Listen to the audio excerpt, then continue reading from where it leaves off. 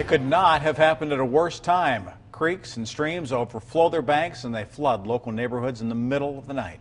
Homeowners are forced to jump out of bed and head for higher ground.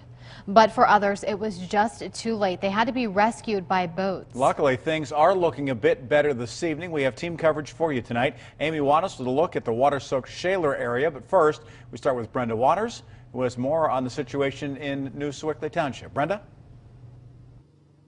Hi, Rick. You know, this is a huge backyard. It belongs to the homeowner over there. But a few hours ago, I would have been standing knee deep in water as a result of Brush Creek over there overflowing its banks.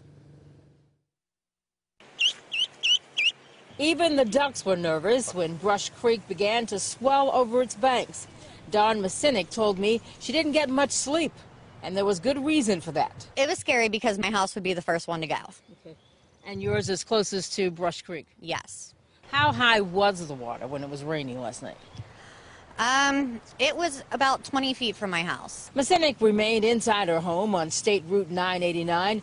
Bill Moore, his family, and pets all left his house on the same road when he got this early morning call. I was in bed sleeping, and the New Sewickley police called me and asked me how I was doing, and I told him fine. And he asked me how the water was, and I got, I said I don't know, and I got up and looked, and I was like, uh oh, it ain't good. New Sewickley Police Chief Ronald Leindecker says the heavy rain began to fall quickly around midnight. By 3:30 a.m., there were 911 calls from motorists trapped inside their cars and residents who needed to be evacuated and rescued from their homes. The fire departments were contacted through New Sewickley. They requested assistance through the uh, Beaver Falls dive team to bring out boats to rescue the people on uh, residences on 989. No one was injured. Closed roads are now reopened. Everyone is back home. Kids are playing outside but it's going to storm tonight, so we don't know if it's going to happen again. Now, Police Chief Ron Leindecker told me that he graduated from high school with Jeff Verszyla.